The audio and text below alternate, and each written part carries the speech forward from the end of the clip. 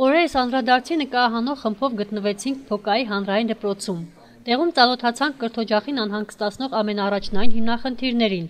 Տեսանք, որ դասասենյակները վերանորոգված չեն եւ խախլված պատերի մեջ երեխաներն անցկացնում են իրենց դասերը։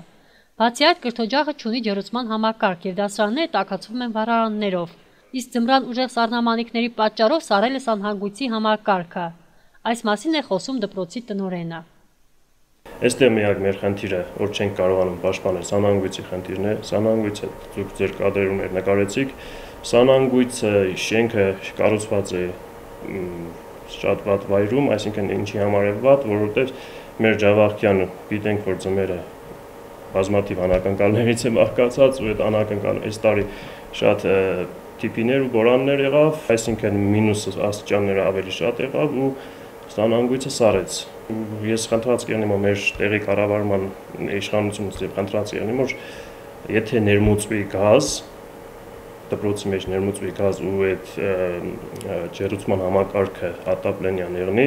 արդեն մենք հնարավորություն կունենանք կայուն ջերմաստիճան պաշտպանելու, եթե ու հնարավորություն կունենանք նաև գիշերը միացած թողնելու։ Այսինքն գիշերը եթե մենք միացած թողնենք, ջերմաստիճանը կլինի կայուն։ Մեզի պետք է դպրոցին ապահովել կայուն ջերմաստիճան, որ այս սարեցման խնդիրը չունենանք սանահավիցի հետ կապված։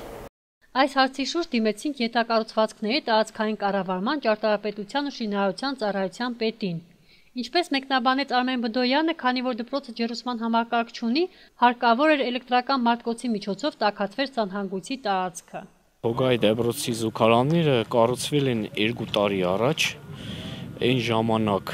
դպրոցը չունի սպեսալ կենտրոնական ջերուցում,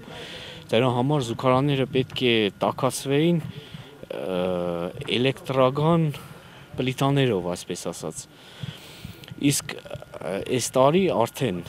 նախատեսած է Փոգայի դեպրոցի համար կենտրոնական ջերուցումը